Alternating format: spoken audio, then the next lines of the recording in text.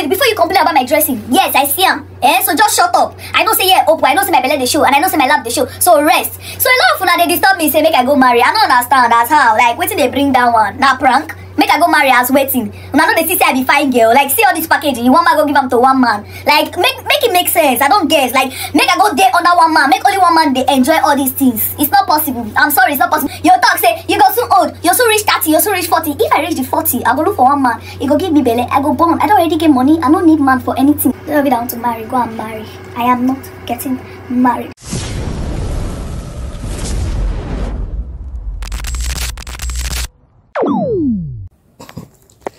You know, you know what's funny about this video that this lady made? Hmm?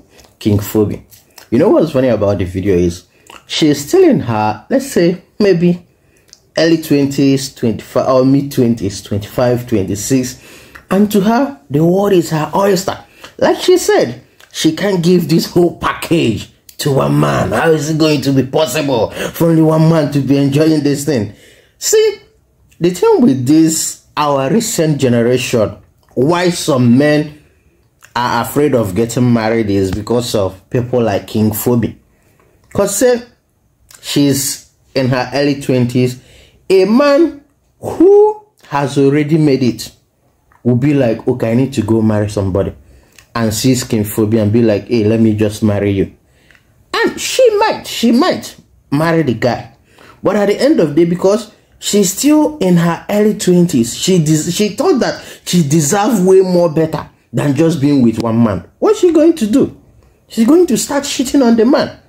And at the end of the day, that's where the whole paternity fraud comes. Two kids, three kids down the line, the man finds out it's none of his. Uh, none of the uh, none of the three kids are his. Now let's just take it back to King Phoebe as a lady. Yes, she's saying that she's old enough, that she has money, that she doesn't need any man, that uh, she can't give the whole package to one man. See, I don't care how rich you are as a lady. I don't care how much money you have, how uh, popular you think you are. If you are rich, if you are popular, no matter how respected you are, if you don't have a man in your life, you are nobody in the society. Take me anywhere. Look at the list of the greatest women on earth. Shake from time immemorial. They always have a man. They always have a man. Because there is this respect you get when you walk in a certain. Like let's say you are having a lunch with the greatest mind on earth. And then they all coming in with their husband, they are coming in with their wives, and you, as the Odogwu single lady that you are, you are making millions of naira. You're walking alone. How do you think they are going to view you? So to King Phoebe, I don't know if you are going to see, uh, if you are going to see this, but you feel like you are 28 or maybe 25 now, and that you don't need to settle with one man. This video, 10 years, 20 years from now, is going to hurt you. Like it is going to hurt you bad, and you will regret making this video. Maybe it might be a prank. Maybe you are just making it to play a prank on the whole internet, but remember, internet doesn't forget. And 20, uh, 20 years, 10 years, 15 years down the line, because you feel like when you are in your 40s, you can look for one man to get you pregnant. Menopause starts by 25 now, in case you don't know. Menopause starts by 25, but let's not talk about that one because we can't control that.